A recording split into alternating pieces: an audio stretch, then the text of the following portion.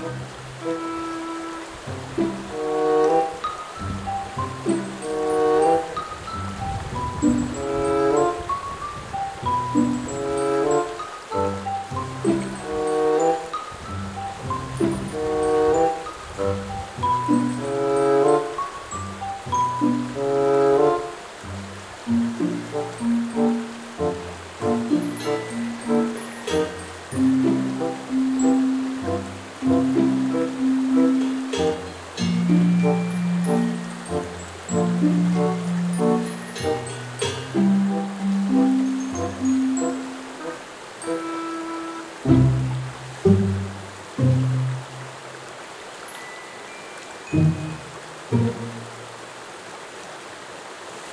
Wow,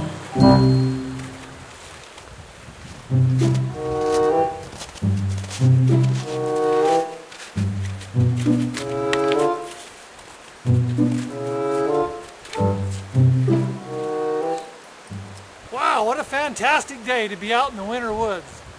The fresh air, the sunshine, after being cooped up all winter, sure makes it nice. You know, the mountain men spent most of their winter in winter camp with their fellow trappers, repairing gear, fixing traps, um, taking care of the horses, and just spending uh, good time with their friends while it was too frozen up to trap. But in the early, early spring like this, maybe late February when the water's starting to run and the thing, the branches are starting to limber up again, and greenup isn't too far off, they would start to get out and look for good spots to trap in the winter, or for the coming spring trapping. When they did that, the snow is still deep like it is now, they would need a good pair of snowshoes like you see I have here. The pair I've got on are Ojibwe style snowshoes. The mountain men would have learned how to make either from back east where they lived or from some of the displaced Iroquoian or Algonquian Indians who came out from the east to trap with the Hudson's Bay Company, later with the Rocky Mountain Fur Company and the American Fur Company. If you look in the journals, you can learn about the use of snowshoes. In fact, in Ogden's 1828 journal, Peter Skene Ogden, he recorded several instances about the men needing and using snowshoes. And let me quote just a few of them to you. January 1st, 1828, Ogden writes, The men paid me their respects and were politely received. The Americans followed the example and received the same treatment. The Americans leave for Salt Lake. The hunters are now making snowshoes as the depth of the snow keeps increasing. The others pass their time gambling. No cards are sold to the men at Fort Vancouver, still they procure them. On the 16th of January, he recorded, the Americans are anxious to procure snowshoes, and I am equally so that they should not, as I am of the opinion they are anxious to bring over a party of trappers to this quarter. I have given orders to all not to make any for the Americans. This day they offered $25 for one pair, 20 for another, but failed. Five men traded leather with the Snakes, the Snakes being another name for the Shoshone.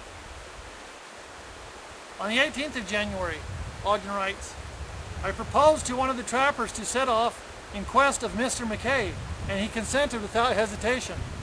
The Americans continue offers for snowshoes, but without success. And finally, on the 23rd of January, the American is now very low-spirited. He cannot hire a man to go to his cache, nor snowshoes, nor does he suspect that I have prevented. This day he offered eight beaver and $50 for a pair and a prime horse to anyone who would carry a letter to the American camp. In this he also failed. I have supplied the American with meat as they cannot procure it without snowshoes.